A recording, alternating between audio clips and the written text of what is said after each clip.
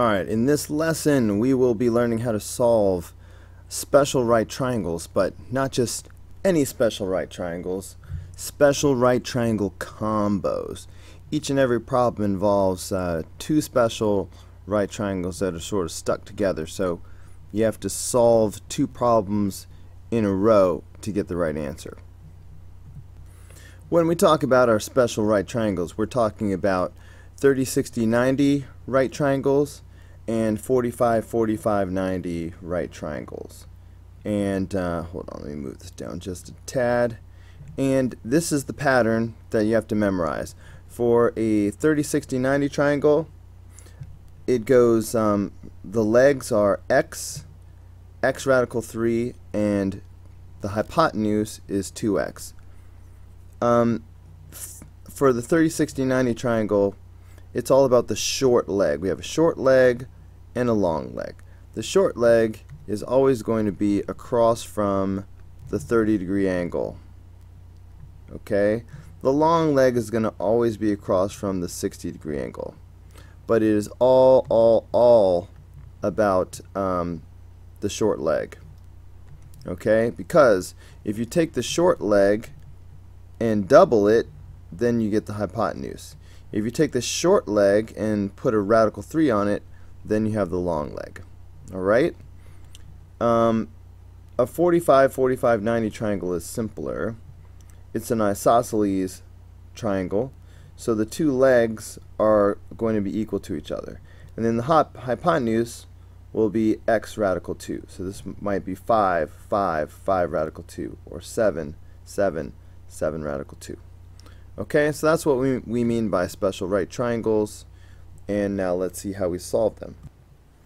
Okay, um, for problem number one, and really all of these problems, we're given one side. Focus on that. Now, remember the pattern. So we're dealing with a 45, 45, 90 triangle. It goes x, x, x radical 2. So um, looking at this triangle right here, the idea would be hold on, the idea would be x, x, and x radical 2 would go right here. Now this x and these x's are different. In fact, um, I should probably, since there's already an x here, let's use a different variable, like n. So this would be n, n, and n radical 2. Okay? Now the key is to focus your eyes on um, the one where there's a number there. Make a little equation out of it and solve it. So the way I would solve this is by dividing both sides by radical 2. Okay? Um, so that's going to give me n equals. Now what's 10 divided by radical 2? Okay, 10 divided by radical 2 is 5 radical 2. Okay? Now, um, just for the record, if you wanted to be able to solve that um, without a calculator, here's how you would do it. If I have 10 over radical 2, what I could do is I could multiply this denominator by itself, multiply by radical 2. Now, I don't know if you know this or not, but when you multiply a radical by itself, the number comes out. All right, radical 2 times radical 2 is 2. Now, you're only allowed to do that if you do the uh, if you multiply the numerator and denominator by the same thing. All right, that way we're really just multiplying by 1. Anyway, so 10 times radical 2 is just 10 radical 2. But then what happens is um, the the 2 divides into the 10. 10 divided by 2 is 5.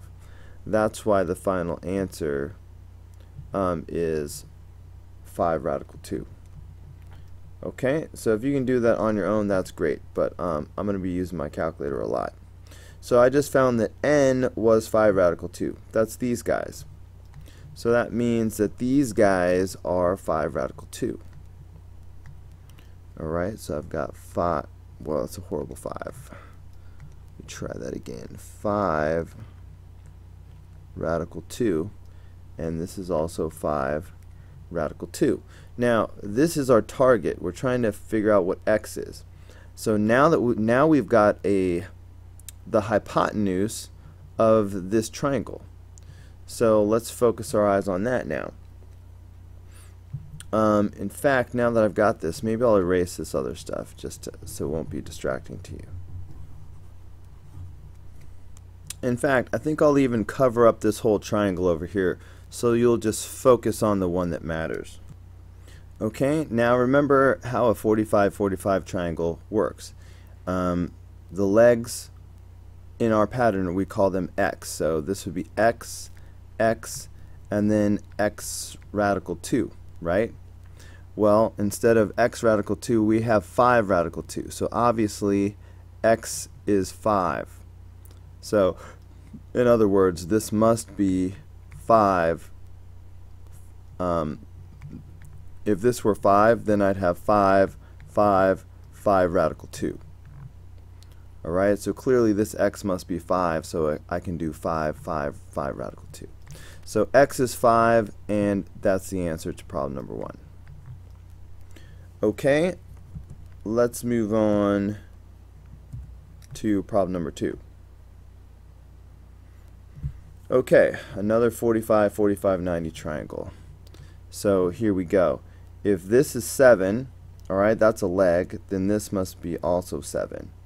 Alright, so it must be 7, 7, and then 7 radical 2. Okay? Now, if I uh, cover this up for a second, alright, just cover up this bottom triangle, then uh, remember what I have here is uh, another 45, 45, 90 triangle. Now these are the legs. The legs must be the same. So um, if this is 7 radical 2, then this must be 7 radical 2. And this hypotenuse must be 7 radical 2 radical 2. Okay, can you see that? Maybe I'll, let me change colors for a second. Okay, do you see the way this works? Um, you know, because if this were a 5, then this would be 5, and then this would be 5 radical 2, right? It'd be 5, 5, 5 radical 2, or 6, 6, 6 radical 2. But in this case, uh, I've got this more complex expression, but it still works the same way. 7 radical 2, 7 radical 2, 7 radical 2 radical 2.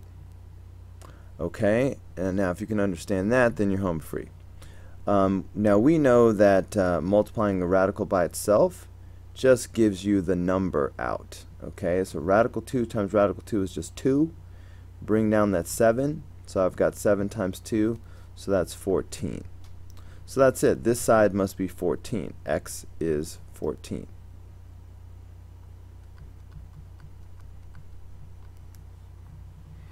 Alright, that's it for problem number 2. Let's hunt down problem number 3. You ain't so bad. Problem number 3. Um, so, again with the 45, 45, 90 triangle. So if this is 9, then this is 9, and this must be 9 radical 2. That's how it works. Leg, leg, and the hypotenuse is leg radical 2. Okay? Now, focus on the lower triangle. Um, looking at this triangle down here, now this is the leg. Do it. Do I need to cover it up so you can see it better? Do I have to do it? Alright, hopefully when you get more comfortable with this, you can just use your imagination. Uh, but uh, let me cover things up for now to help you out. So looking at this triangle, alright, then this x is the hypotenuse. Okay? So um, the way it works is uh, the legs are the same. So I've got 9 radical 2 and 9 radical 2 are the legs. Okay? And this should be 9 radical 2 radical 2, just like the previous problem. Alright? Because again, if this was a 7, it'd be 7, 7, 7 radical 2. So it's the same thing. 9 radical 2, 9 radical 2, 9 radical 2, radical 2. Um, but once again, radical 2 times radical 2 is 2. Bring down the 9. 9 times 2 is 18. Okay, so x equals 18.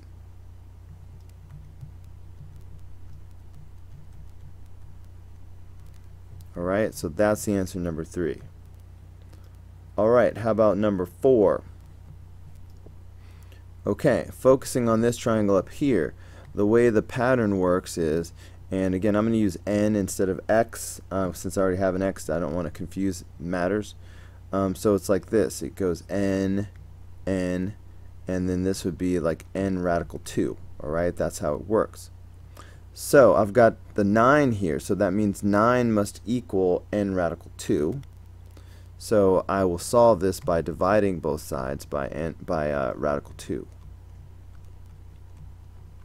Okay, if I do that, okay, so like 9 divided by radical 2, okay, and this is going to be 9 radical 2 over 2, right, because I've seen this enough times. So this is going to be 9 radical 2 over 2. So that's what n is. Okay, so n is 9 radical 2 over 2. Okay, now that's n represents these legs right here, you understand? So, um, so let me put that where it goes. So that means uh, this over here is 9 radical 2 over 2. Alright, and that means this down here is 9 radical 2 over 2. Alright, that's what's happening.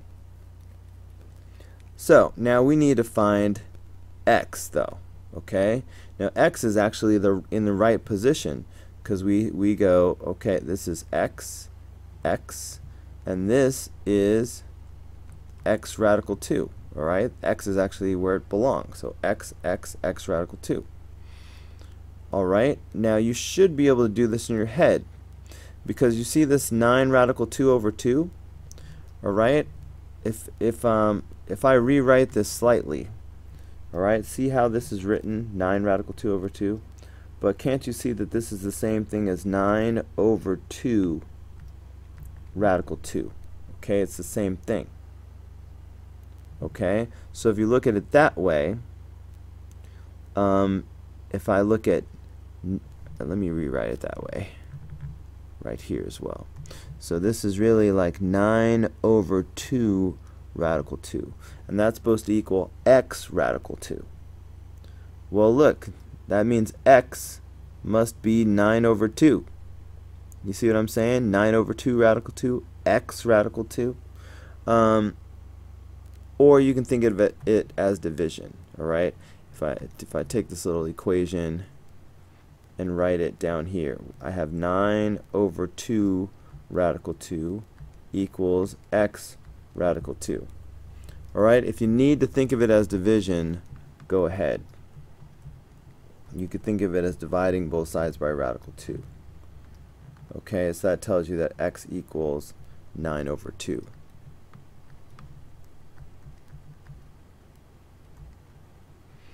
Okay, and that is the answer to problem number 4. Uh, right, but it'll be better if you can just see it uh, 9 over 2 radical 2, x radical 2. Alright, x is the thing in front of radical 2. That's 9 over 2. So if you can just immediately go straight to x equals 9 over 2, that's even better. Okay. Alright, I think that's enough for one combo video. I have 16 problems to do, so I think I'll do four problems per video. So I'll see you on the next video.